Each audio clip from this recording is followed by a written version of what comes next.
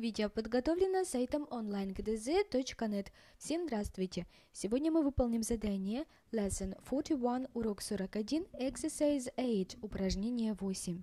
Помоги медвежонку Билли прочитать вслух то, что ему понадобится в школе, что не пригодится. A red hen, ten pencils, a fat cat, six pigs, seven pens, a grey rabbit, a red pencil, a big bag, a pink hat, a slim dog, a grey stick. Для начала запишем то, что Билли понадобится в школе. Итак, Билли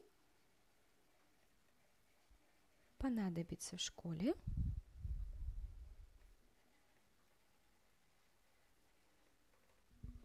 Ten pencils, десять карандашей, seven pens, семь ручек, a red pencil, красный карандаш,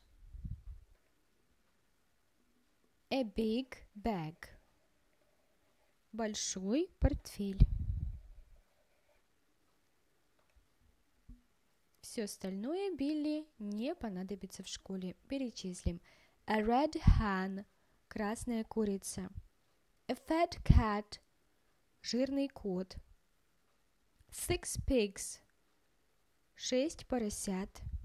A grey rabbit – серый кролик.